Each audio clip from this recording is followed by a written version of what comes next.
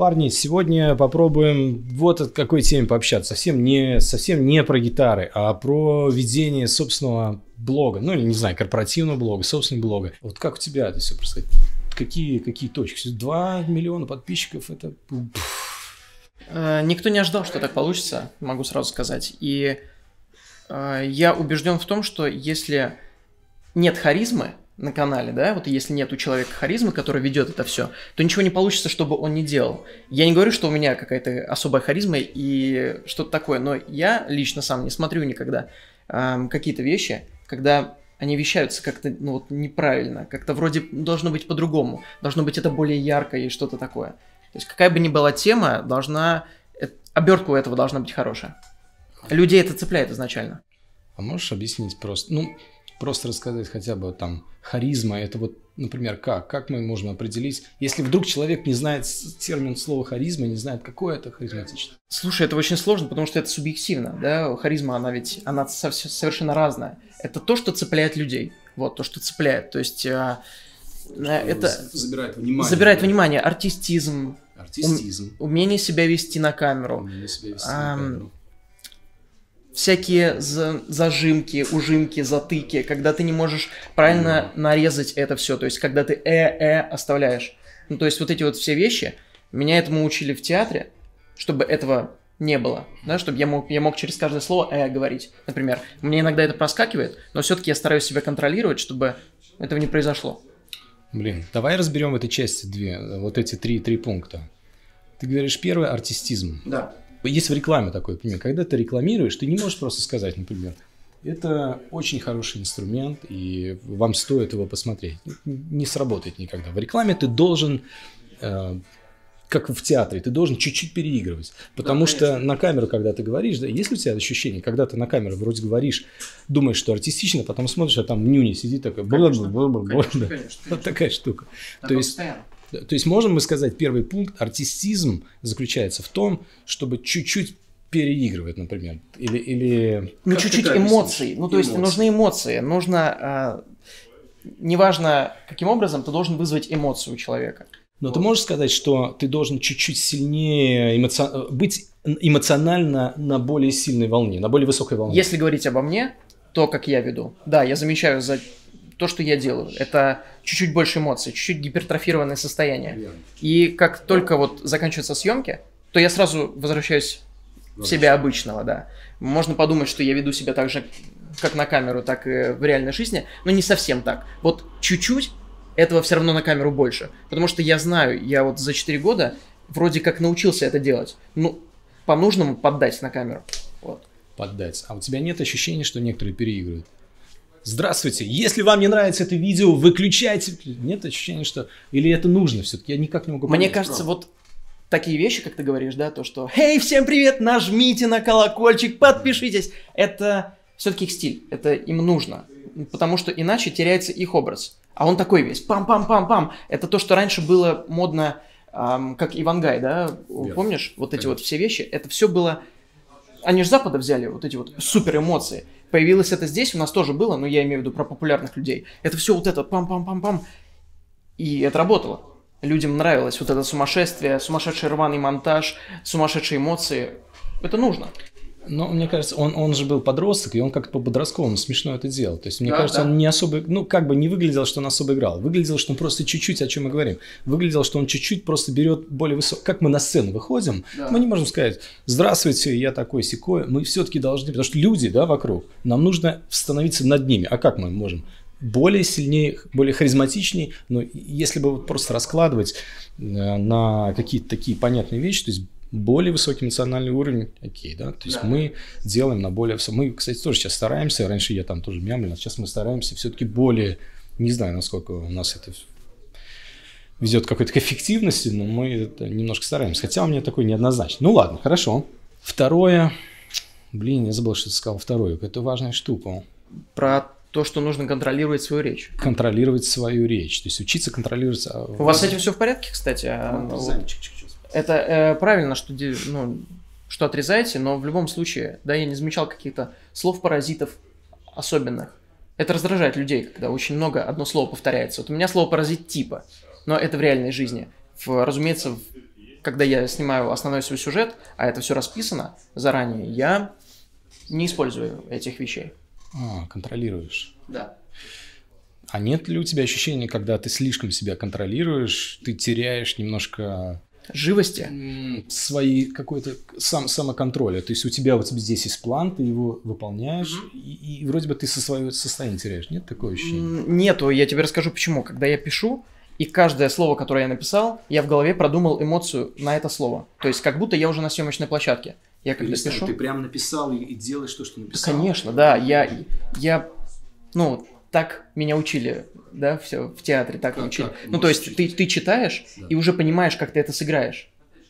Вот, ты читаешь фразу, реплику и у себя в голове прокручиваешь, как бы ты это сделал на сцене. Вот то же самое, я пишу свой текст и уже знаю, какая эмоция здесь, где я здесь улыбнусь, куда я посмотрю камеру, то есть все прописано максимально на монтаже. У нас бывают, конечно же, ой, не на монтаже, а на э, препродакшене. У меня бывают моменты, когда хочется вырваться из этих рамок да. и добавить что-то в тот момент, когда я это говорю, я все равно же, я не робот, я, мог, я могу вырваться. Я просто заканчиваю говорить то, что я написал, то, что я запомнил, и то, что душа прям жаждет, то я начинаю говорить. А потом мы это нужно или не нужно оставлять, это мы уже потом нарезаем. Себе выход, конечно, да? конечно, бывает иногда, но это не часто, потому что все-таки пишу я очень долго сценарий, это около двух недель все готовится. Один ролик. А, нет, один ролик около месяца. Вот, и это на все про все. А две недели готовится именно сценарий, поэтому я все успеваю записать, прописать, продумать 200 раз. План. Я видел как-то интервью, ну, я люблю там бизнес-интервью всякие. Mm-hmm. Я видел интервью с Мамутом, который владелец вообще всех мегафонов, всего на свете. Один из богатейших. Он говорит, есть ли у тебя какой-либо рецепт? Ну, как, как можно делать вообще вот так, да? Все люди там, вот у нас магазины, мы там, весь день я занят этим магазином, одним, вторым, а тут Мамут, у которого одна компания такая. И, и есть какой-нибудь секрет? Он говорит, план должен быть. И все. Мне кажется, да. Вообще в видеопродакшене главное, чтобы у тебя был план, правда. Я понимаю, что вам это невозможно как-то сделать. Нет, сейчас, кстати говоря, мы без этого просто не обходим. Не, имею в виду, что вы берете в руки гитару, вы о ней все знаете. Вы говорите об этом вот прям от себя. И это, это круто выглядит, это живо очень. Я смотрел обзоры на всякие разные гитары, которые мне были интересны. Я смотрел даже первые обзоры. Ты говоришь, что, что скучновато там. На самом деле в этом есть какая-то душа, ламповость и стиль. Вот. Возможно, да, но это все равно, конечно, ни в какое сравнение не идет с а, какими-то такими успешными суперблогами. Я вот просто пытаюсь выяснить. Ты думаешь, это реально? Сделать из гитарного магазина блог, который будет прям супер успешный? Знаешь, я тебе скажу, в чем проблема. Есть у меня знакомые каналы, которые снимают очень здорово, очень крутой продакшн, но там нет основного, основного лица на канале. То есть он как бы... Размыт? Нет, не децентрализован, как это сказать. В общем, там много людей, ведущие. Да. То есть они постоянно меняются. Это научные какие-то э, руководители, в общем, да, да. Э, какие-то ученые и так далее. Они все сменяются. Люди не запоминают их. Он появился один раз и больше его не будет. И поэтому просмотров не так много. А когда появляется тот человек, которого они уже видели, просмотров больше. То есть вернулся тот самый человек, которого они уже ждали, То да, они, основного. Они и подписались-то из-за него, да, то есть вот мы. Возможно, не... возможно, да. И вот здесь такая проблема, что если много человек появляется, ты не понимаешь, как бы кого смотреть. Как возможно. мне кажется.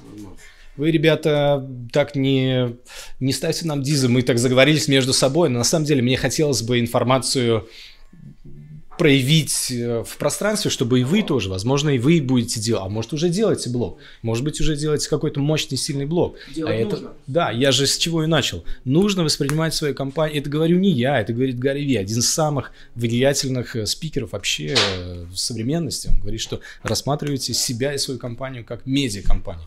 Чем мы пытаемся заниматься и говорить. То есть мы немножко заговорились между собой, но но будьте с нами. В общем, не, не, не выключайтесь, да, не, не, от, не отключайтесь, в смысле, ментально. Да-да-да, stay tuned. Да, то есть э, план, э, ну, вообще, на самом деле, это для меня новость. Мы пришли эмпирически к плану, мы сейчас делаем тоже план и исследуем, пытаемся исследовать, потому что в нашем плане мы разложили какие-то триггерные вещи, которые влияют на успех нашего дела. То есть мы их выявили, и мы теперь их делаем системно, и уже мы можем прогнозировать результат. А, например, какой? Например, скажи, какой план вы придумали? У нас очень, очень просто. Смотри, у нас должна быть первая личная история. То есть гитара обязательно должна нравиться. Например, я люблю вот такие гитары, я не люблю рок-гитары, uh-huh. хэви-метал гитары.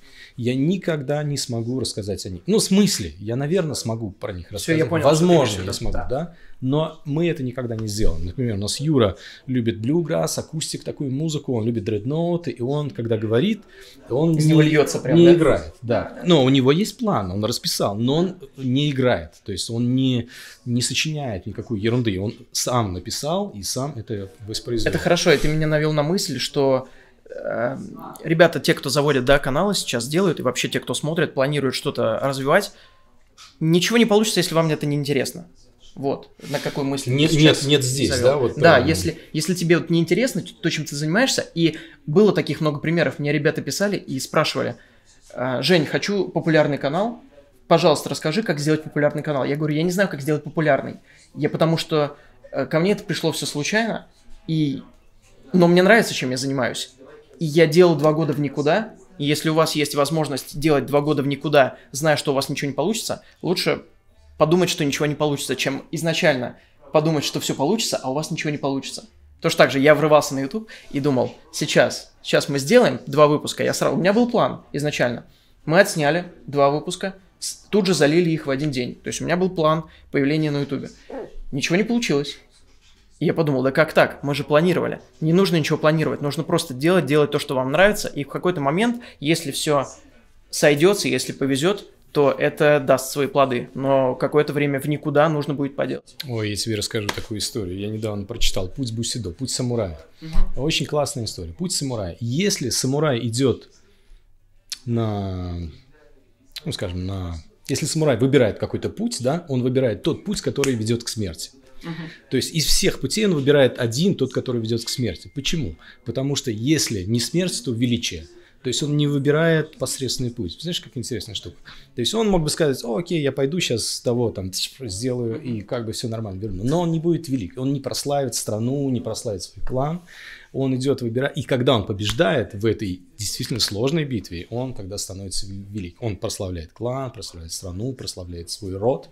И такая штука. У тебя похожая вещь. То есть ты говоришь, да, ты говоришь, ты готовься, что у тебя ни черта не получится, но и ты говоришь, да, достаточно большой срок, два года, блин, два года. Прям в никуда. Месяцев, чтоб, чтоб ты понимал, это просмотров намного меньше, чем у вас а, было даже с самого начала. Это... Да, поверь, есть. То есть я набирал 500 просмотров, а выпуск там на 10 минут, который сейчас я по 40 минут делаю, да, так, какие-то вещи, но тогда 10 минут было много, и мы реально готовились, снимали с разных ракурсов, и на выходе 500 просмотров. Но было какое-то расстройство, но при этом не отчаяние полное.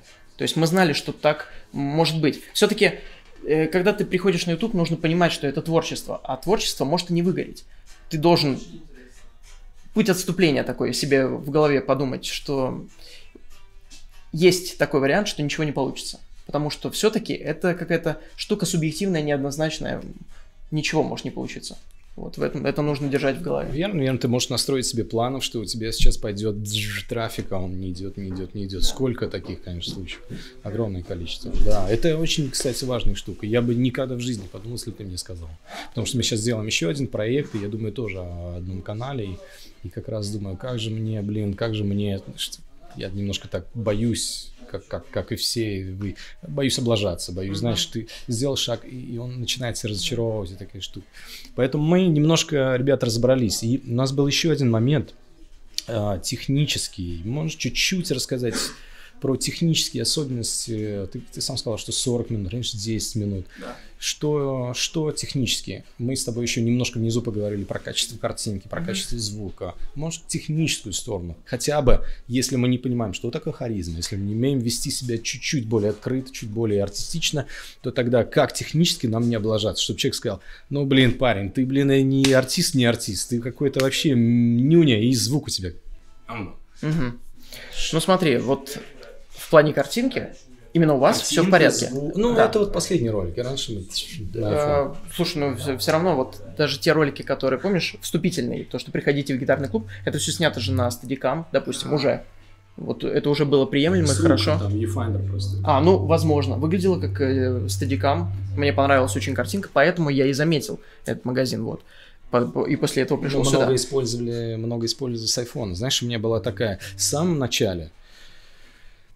Парадоксальная штука, расскажу тебе. В самом начале у меня была идея снимать все на фронтальную камеру тогда еще там 5 iPhone, 5s что ли iPhone. Uh-huh. Ну, и я просто ставил фронтальную камеру и снимал. У меня была идея такая, что я все равно вам не расскажу. Я делал про укулеле или про гитару, типа, я все равно вам не расскажу, как она звучит. Вы все равно не услышите. Я, у меня же нет студии здесь, да, чтобы... А на студии есть постпродакшн. И черт его знает, как она на самом деле звучит. Но я расскажу вам свои ощущения. И мои ощущения вы можете услышать через просто фронтальную камеру, через микрофон. Mm-hmm. Почему? Потому что я сразу э, тогда подумал о себе. У меня была тогда целая философия. Сейчас она изменилась. Я подумал, что как я выбираю машину. Я там, ну, у меня был там каких-то куча машин. Я, я прихожу, если мне нравится человек, он говорит, слушай, вот ты не похож на человека, который будет ввести BMW, говорит, э, братва, там, ты не похож а ну ты похож на такой, давай я тебе там покажу. И мы стали выбирать, и сейчас я, я понял, что мне нравятся высокие машины, все. То есть мне нравится, мне нравится черная, ну такие вещи.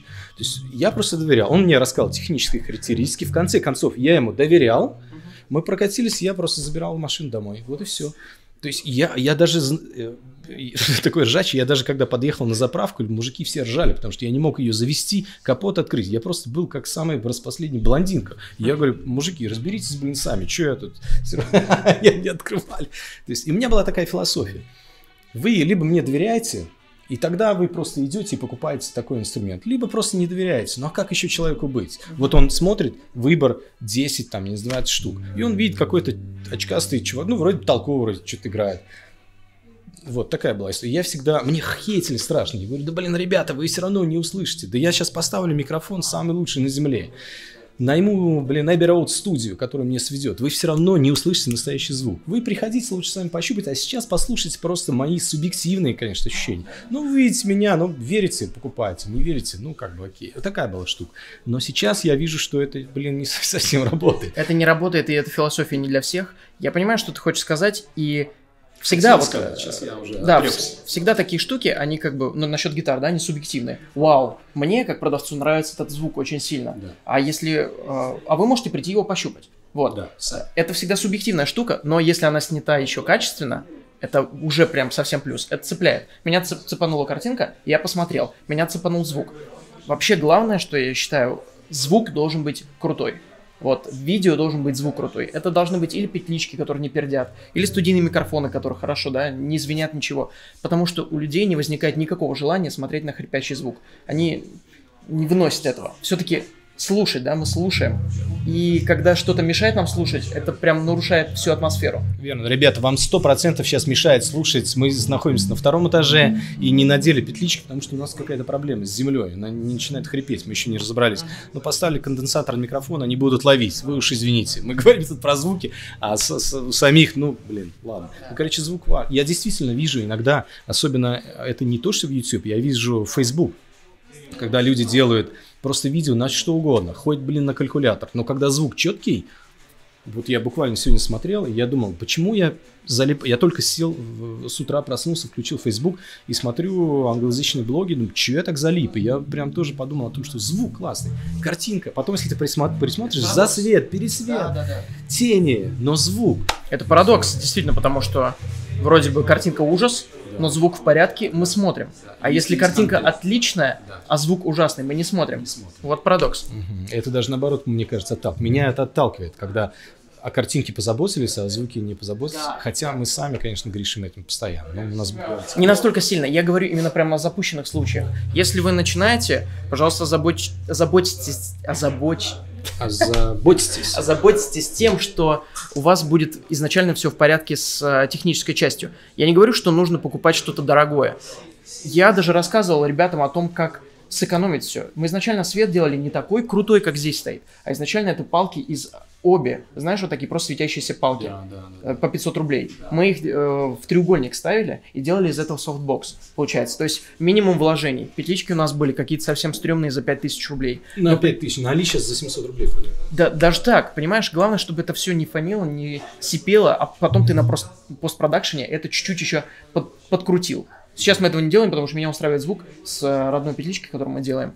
А так звук подкручивается, все подкручивается. Главное, чтобы было желание, хотение делать пока что в никуда. Зато потом я смотрю, люди приходят на первые выпуски 4 года назад, которые были, и говорят, 4 года назад он снимал так. Я смотрю, рвать тянет меня от того, что я делал раньше. Серьезно, это прям, да, это прям, ну, это ужасно, мне не хочется смотреть. А люди приходят и говорят, как?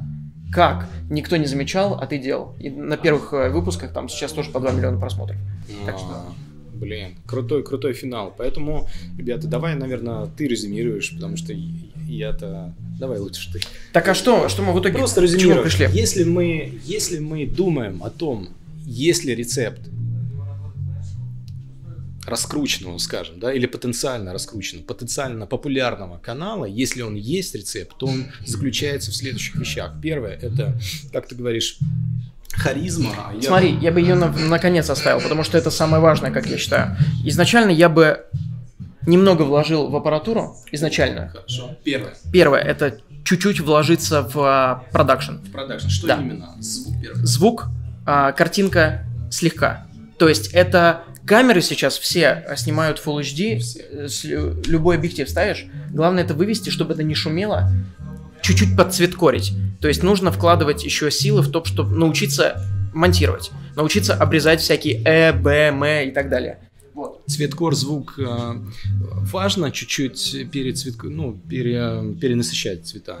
Нет, нет, нет, нет. Э, цветкор на, на любителя совершенно. Да, вот мне очень нравится приглушенный свет да, у вас. Делаем, да. да, и какой-то такая как будто ретро чуть-чуть обработочка. Мы делаем, верно. Я бы чуть-чуть добавил, позволишь. Мы делаем мы делаем следующее. Это изначально наша задумка, чтобы у нас было немножко ретро, потому что у нас мужики одни и мастерская. Мы не можем выглядеть такие прилизанные, такие хорошенькие ребятки, да. Нам нужно обязательно передавать атмосферу пыль немножко, немножко грязь. Мы используем видео с айфона, специально, намеренно, чтобы просто не быть вот таким вот прям заслуженным работником культуры, да. То есть пусть она немножко будет суета, хрипота, да-да-да, пусть будет реальная жизнь, потому что ведь у нас нет ничего гламурного, да, то есть когда вы реально приходите, верно, да? вот когда люди приходят к нам и говорят, блин, я уже видел там на самом деле, они видели то же самое, мы же не скрываем, даже наоборот, мы могли бы сделать из этого, наставить свет, все, и люди посмотрели бы, вау, как новостная такая передача, но мы делаем немножко такую, как бы, неряшливо. Хотя нет, стараемся, конечно. Нет, делайте все правильно. И я думаю, могу я бы так оставил. Пожалуйста, могу я, могу я добавить твои слова как э, карти... цветкор и картинка, пусть она служит основной цели. То есть, если я так ну, Передача настроения? Передача основной цели, основного месседжа. Если это канал для девочек, да, про косметику, ну, конечно, здесь должны быть перенасыщенные цвета, да, желтые, ярко-розовые фоны, естественно. Если это канал, ну, скажем, в нашем случае, где мужики пилят, строгают гитары, ну, конечно, это лишнее. Да. Пусть будет немножко, мы выводим тени, мы немножко делаем вымытую такую картиночку, в стиле вот прям мастерских, как будто смотришь фотографии мастерской, они вечно такие-то пылища там да, такая да, же. То есть, но это служит вообще цель. Детский канал, конечно, тоже должны быть яркие. И техноканал тоже яркие, Техно. как правило. Верно. Вот. Да. И э, то, что я, я снимаю, это что-то такое более высмеивание РЕН-ТВ, может быть. И поэтому как бы познай врага, будь ближе к нему, или как там говорится. Немножко цитируешь, да? Да, да, да, да, да. Ну, то есть быть к врагу ближе, вот. И стараюсь передать тот смысл, но при этом чуть-чуть высмеивая. Ну, то есть вот как-то так. И поэтому атмосфера соответствующая. Тоже э, накидываю фильтры фильмовые. Это немного шума, немного грейн, э, тени. То есть вот это все игра теней.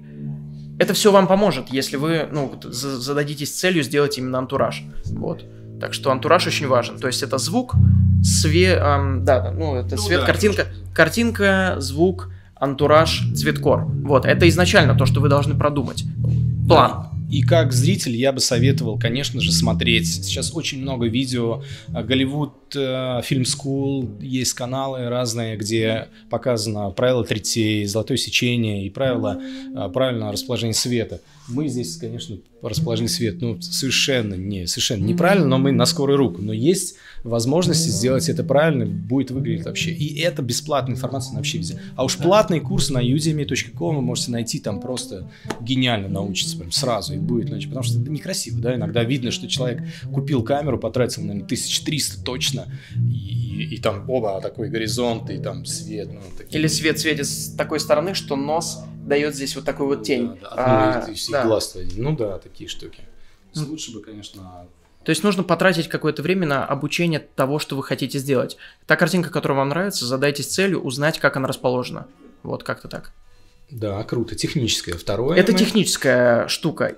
А второе, тема, знаешь, даже не важна. То есть люди разные, они хотят делать все, что угодно. Да. То есть это может быть наука, это может быть музыкальный канал, это может быть а, развлекательный канал, это могут быть да, даже пранки сейчас опять начинают быть популярными, это может быть студийное шоу. Но вы должны понимать, что вам нужно, и из этого уже плясать. Тут я помочь даже никак не могу. Знаешь, тема это... Исходя, выбор... наверное, с интересов, может быть, да? Ну, конечно, да, да, вы должны делать то, что вам нравится, потому что если вы будете делать то, что... Это, знаешь, такие цитаты прямо из пацанского да. паблика. Если вы, вы должны делать, если вы будете делать то, что вам не нравится, у вас ничего не получится. Да, Стив Джобс же говорил, это очень простую вещь. Если вы делаете, что вам не нравится, и у вас долго не получается, вы сольетесь. Ну, так. А может быть, вы сольетесь на том самом моменте, когда вот сейчас, вот как ты, не слился, бабах, и все. А сказал, да ну к чертовой матери, я пробовал, не получается. И мы бы с тобой разговаривали на эту тему, ты же говорил, вот знаешь, вот, вот эти делать не надо. Ну, то есть, вообще другая картина мира была. Конечно. Это конечно. очень важно. Поэтому давай уже запишем это в скрижале, повторим слова Рамзеса и еще, наверное, до него. То есть, надо делать то, что, то, что нравится. Это, это, конечно же, приводит чисто технически э, просто дает энергию, энергию, энергию. Ну, где-то брать, а вот и страсть. Да, брать. это именно энергия, которая в тебе возникает, э, да, ничего мистического, просто это реально помогает тебе как-то продолжать не унывать и добиваться, потому что бывает исключение, когда люди то, что им не нравится, они делают это только ради популярности, они получают свое. Да. Но чем быстрее подъем, тем быстрее падение, как мне кажется. Это очень субъективное мышление, но на Ютубе я очень часто на это натыкаюсь. Ты можешь, ты можешь дать такой совет, не, не торопи события, не спеши, делай, делай круто и не, не форсируй. Форсировать можно, когда совсем ничего не получается. Вот, допустим, когда ты два года, да, вот просто стоишь и ничего не происходит. Тогда можно как-то форсировать события, но не так, что лезть в конфликты. Это плохой путь. Это путь, который ведет вверх, ты, а потом быстро падение. Ты имеешь в виду эту вот недавнюю историю, когда все э, разоблачения того... Это, это сейчас как бы до сих пор популярно. Да. То есть... Ну, на... Время я прям вообще... Я один раз посмотрел, да. мне YouTube просто забавно просто. Да, да, да, очень много такого. И со временем люди, когда они это делают, эти разоблачения, они уходят от этого со временем, потому что им надоедает, но это все-таки негатив. Я вот честно это не люблю. Ты знаешь, мы тоже, мы однажды сделали с Сашей такую штуку. Не совсем, но, но похожую штуку. И сами э, сожалели. Но решили оставить, знаешь, решили чисто по-пацански. Вот мы лоханулись, ну вот пусть будет там, ну и получаем по щам. И там до сих пор, как вы могли, мы смотрим ваш канал, вы ввязались в эту тему. Ну, мы ввязались и ввязались. Какой-то на подъеме, да, мы хотели что-то доказать, знаешь, какая-то такая щенячья. То есть мы хотели что-то доказать, и что-то вроде доказали, не доказали, да, это, стрёмная штука. Но, но мы, да, но мы сделали такой кайс. Это видео у нас есть, э, разбор Пималаев. Это плохой формат видео, приношу свои извинения, дурацкий, но но пусть стоит, пусть напоминает, что мы несовершенные, не идеальные, вот были дураками. Нужно в какой-то момент просто, вы осознали, да у меня тоже был такой момент, правда я удалил, потому что это не нужно. А потом я осознал, да дурак, зачем ты это сделал? Вот, это не, то, что там я кого-то обзывал, что такое, просто ну ввязался в одну штуку, и зачем? Не нужно. Все, оставим, забудем. Нужно ну, хорошо, что если люди это понимают, да, и оставляют это в покое. Тогда хорошо. А если нет, то они продолжают. И они вынуждены копошаться, копошиться в этом. Конечно, потому что провокации, провокации, провокации. И потому что люди уже подписались из-за да, этого. Да, да, они да. не воспримут что-то другое. Ты представляешь, ты начинаешь делать разоблачения, ты начинаешь а, всех обзывать и так далее. А потом в какой-то момент ты понимаешь, что тебе надоело, ты начинаешь делать, ну, я не знаю, там, развлекательный, научный какой-нибудь контент. Ну, да. Люди такие, ты что? Да, они воспринимают себя таким образом. Да, да нам это не нужно. Делай или то, что было раньше, или как бы проваливай. Ты знаешь, блин, вот мы буквально с Серегой с утра обсуждали, мы сейчас немножко делаем разные форматы, и мы сегодня обсуждали, не уходим ли мы от своего формата, внедряя еще другие форматы. И мы немножко так 50 на 50, знаешь, да даже 60 на 40. То есть такая штука. И мне кажется, что если я перефразирую твои слова, то важно держаться корней, важно держаться своего стержня. Потому что если единожды люди, кликнув лайк, да, поставив тебе, написав добрый комментарий, что он здорово, он с удовольствием будет смотреть и дальше. Он подписался и смотрит, и вдруг ты предлагаешь ему что-то другое, что не соответствует тому пусть даже имиджу, да, пусть даже ты являешься неким а, заложником этого имиджа, например, а, у меня там на канале есть такой имидж немножко такого занудного, такого умника чувака. Я его придерживаюсь. Хотя я люблю им матекнуться, знаешь ли, там, и как бы и так похулиганить, так по пацану. Ну, я так держусь, как бы, потому что я залог. Все скажут, слушай, ну это что вообще? Мы тебя так, такого не любим, мы тебя другого любим. Вот такая штука. Есть. То есть держаться ли корней? Считаешь ли это важно? Держаться, не отступать. Иначе ты начинаешь разрывать свою аудиторию. Ты думаешь, а, мне еще не хватает аудитории молодых школьников. Блин, очень сложно, потому что примеров куча, когда это срабатывало.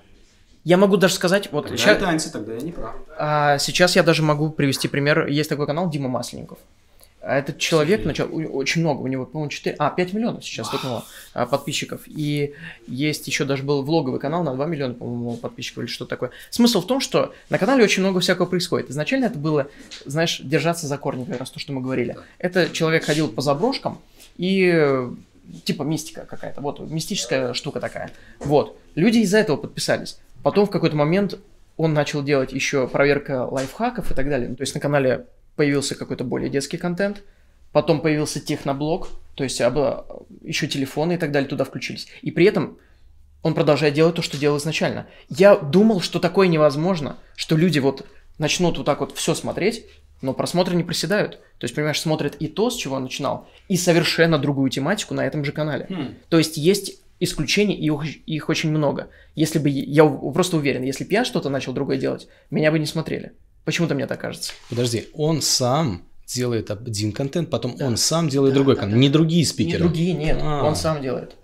Ну, То блин, есть, надо признать, что он гений тогда. Да, ну как бы, понимаешь, и здесь то, что я уже говорил, подписывается не на много человек на канале, а на одного человека, То которого есть... любят, на медийную личность подписываются. Неважно, что он будет говорить, главное подписываться на человека. Они потом э, фолловят его инстаграм и так далее.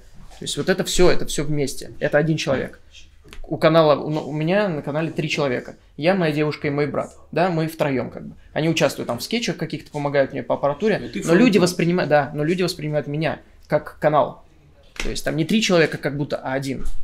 То есть они не видят. Это, это такая, знаешь, э, туннельное э, видение, туннельное зрение. Они смотрят на меня и видят канал, но при этом не замечают команды. Ну, то есть замечают, конечно, но я в общем говорю о людях. Блин, это выглядит как рецепт. Ну, правда, это выглядит как рецепт, да. Давайте тогда тоже зафиксируем и запишем, что это, это очень важно мелькать, даже если, если в, в контексте присутствует еще кто-то, чтобы был один фронтмен, назовем, фронтмен, да, как да, фронтмен да. группы, да. как Виктор Цой группы кино, все же так было. Или ну, так? мы же на примере даже групп, мы сейчас в музыкальном магазине, да, на примере групп можем понять, а, так ну вот если допустим, ACDC выйдут, выйдут без а, Ангуса Янга, допустим, что произойдет? Люди не поймут, что происходит. То же самое с любой другой группой. Фронтмен какой-нибудь не выйдет. А как бы, а как бы что? Да, да, иной раз и других-то и не знают. То есть, да, хм, очень важная штука. Мы, кстати, нарушаем это правило, и, и наверное, зря. Да, я мы уже об этом говорил. Да, да, мы запишем это и исправимся. Вот, и, и... Пос... и последнее, то, что я хотел сказать, это вкладывайте все остальное, все деньги, все силы, все время в себя, в харизму. Это очень важно, невероятно важно. Опять же, то, что я говорю, да, подписываться на человека, на медийного. Если он харизматичен, подпишутся на все, что угодно, если он харизматичен. Если он артистичен, если он умеет подать себя. Так что я бы на вашем месте вкладывал бы все вот прям в себя. То есть это развитие, это, э, это дикция, это внешний вид. Знаешь, на, на неопрятного тоже не очень хорошо смотреть на камере. А вот смотри, кстати, про внешний вид. Как же это технический канал? Вилсаком, он такой, такой чаби-чаби такой парень.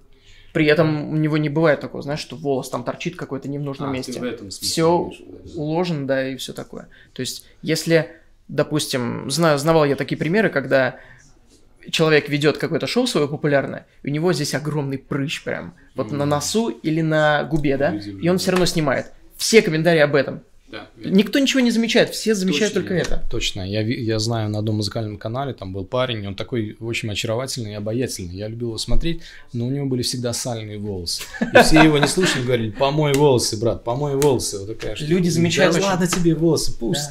Да. Нет, типа помой волосы. Люди замечают и цепляются за это. Так, ну что, можно еще рассказать? Ну, про дикцию мы сказали, да, что про нужно, дикцию, нужно да. обязательно дикцию эту, свою развивать, потому что иначе, если у вас... Вообще, есть такие штуки, когда на Ютубе очень много популярных людей, они картают, шепеляют и так далее. И это не вызывает у людей дискомфорт, потому что это уже они к этому привыкли. Это как фишка такая.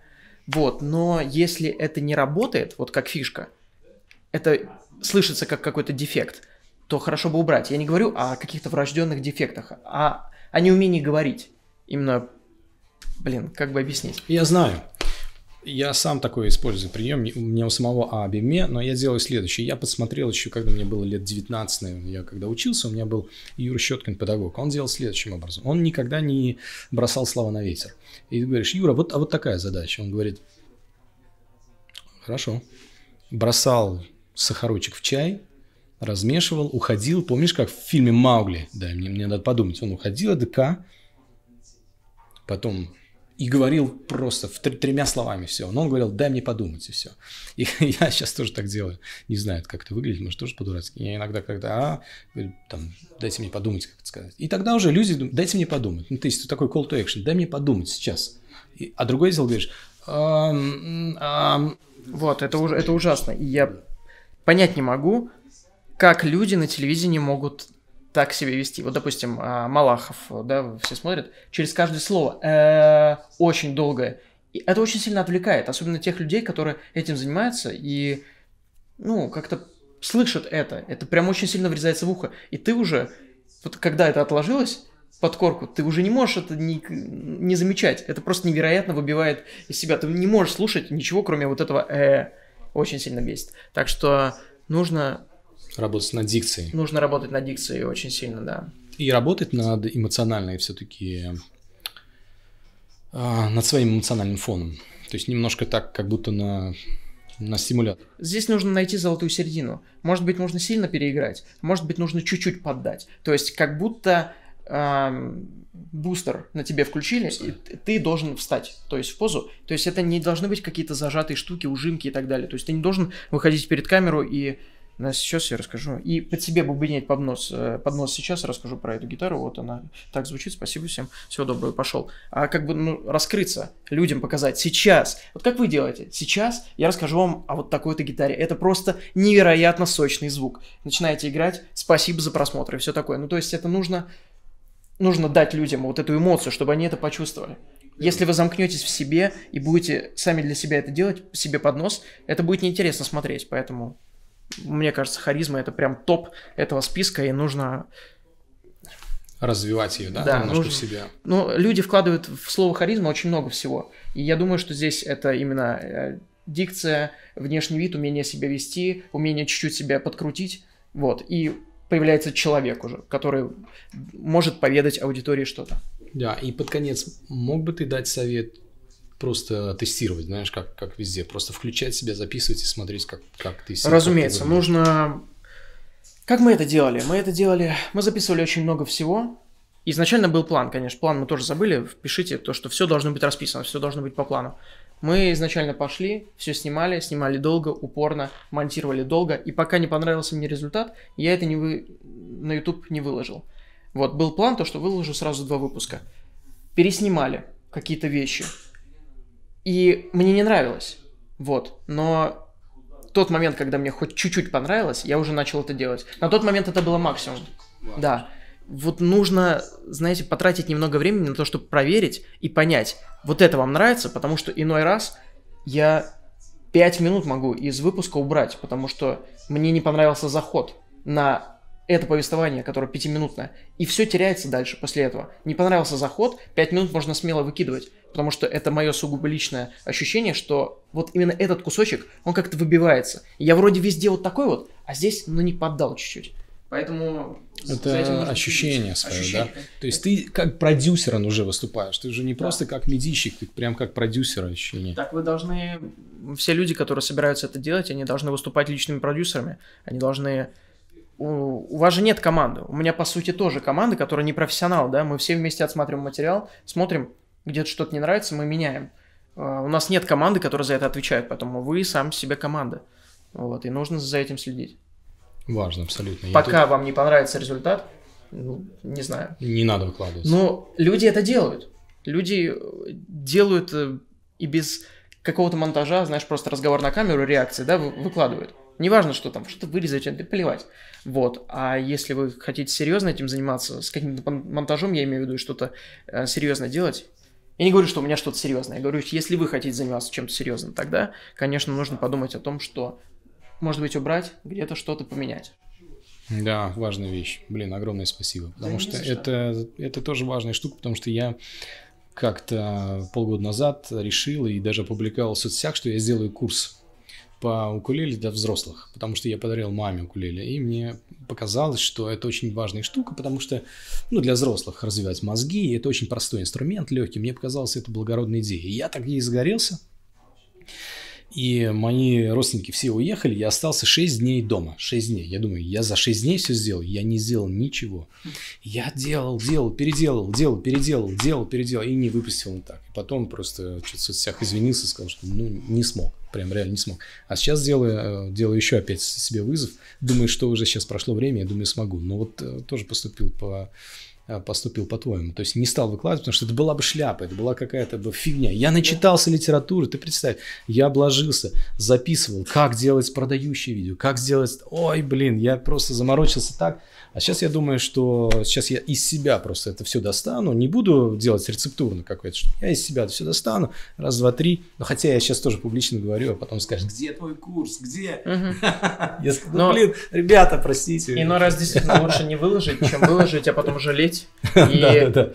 И этот курс. этим убить идею. Ты выкладываешь, и это не заходит, и ты убиваешь потенциал того, что ты хотел этим, этим сделать. Но просто ты это выложил просто не в подходящее время и не доделал. Вот, поэтому все, дальше уже речи идти быть не может. Верно, верно. Если я могу тоже еще чуть добавить, я бы добавил, когда что-то не получается, это я уже скажу не про блог, потому что, ну, кто я чем про блог? Я просто скажу про, про наше дело. Если что-то не получается, то работает очень крутой рецепт. Начина пробуешь с разных сторон, немножко с другой стороны, на то же самое, немножко с другой стороны. Например, вот мы сейчас сидим в электрогитарном магазине, это не самый популярный.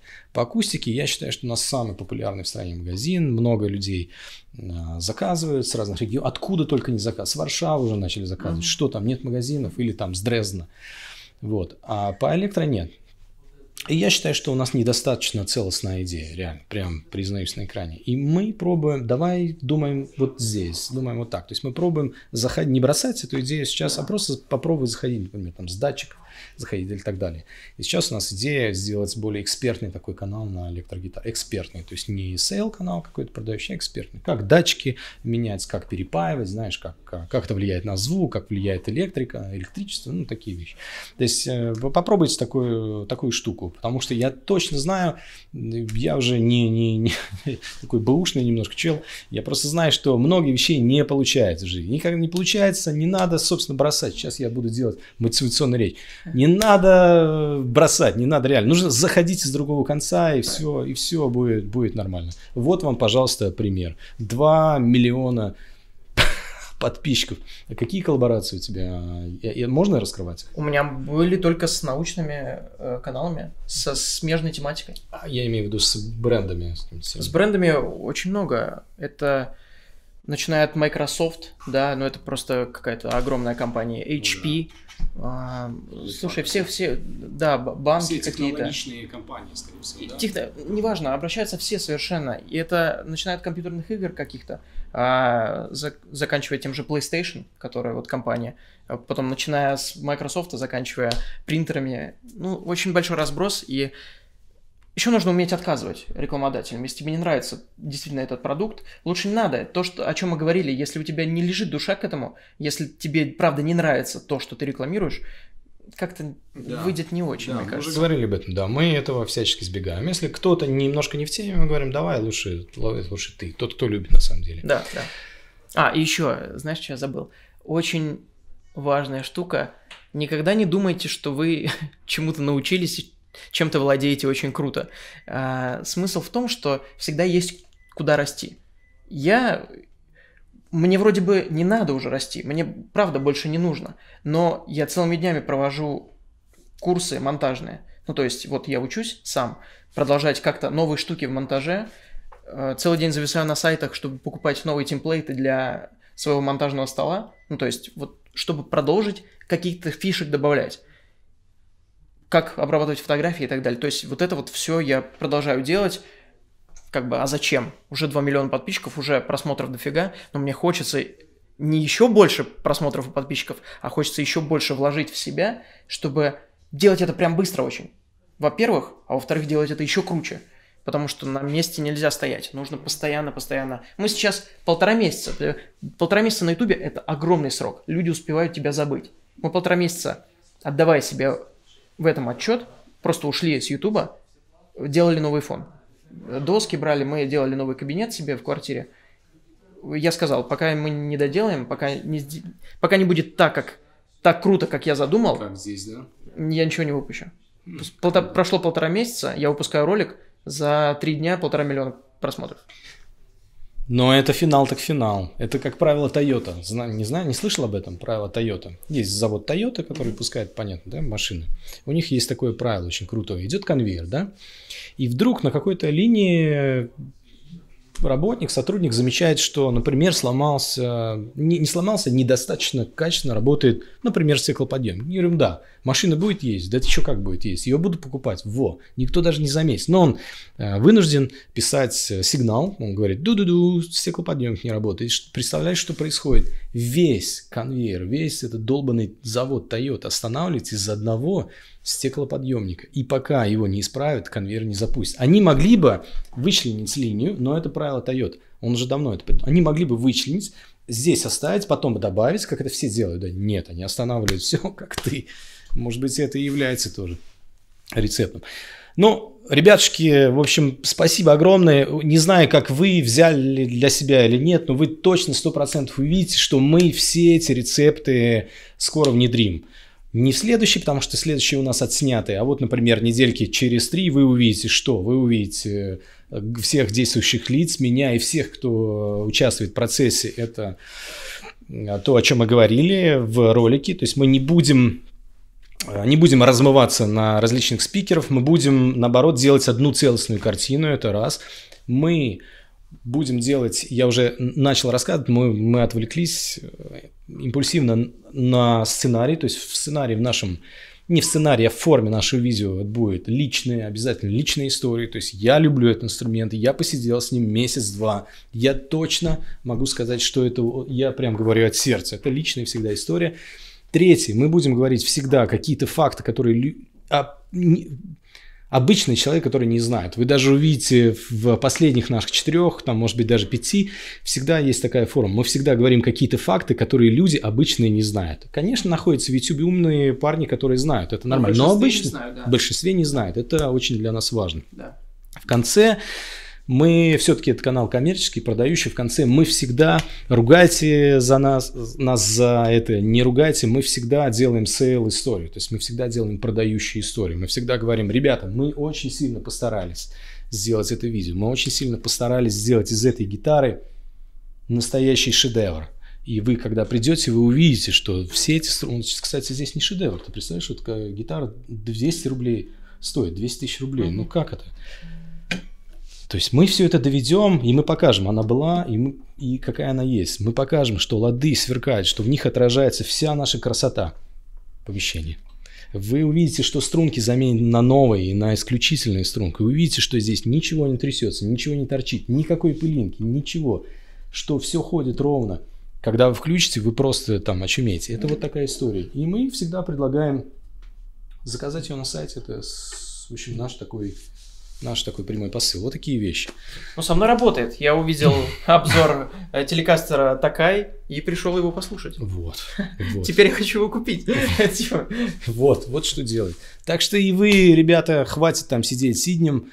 Переходите по ссылке я оставлю на это такая, на всякий случай описание, вдруг вы захотите, вдруг захотите и тоже жмякните по ссылке купить. А так просто используйте вот эти приемы, если вы делаете YouTube канал, и вообще используйте их в жизни, в своих сам презентациях, потому что это офигеть как, офигеть как сейчас важно проявляться. Я прям вообще заморочен, всегда говорю, проявление – это важная часть нашей жизни. Если ты сидишь сиднем и нифига там, ну, там, ну, стесняешься, отходишь на второй план, я интроверт, еще каких свет не видел, но я все равно сам стараюсь себя так заводить где-то, знаешь, так, давай-ка ты по жопе себе, и я выхожу, ну, в общем, такие, это важная, важная вещь.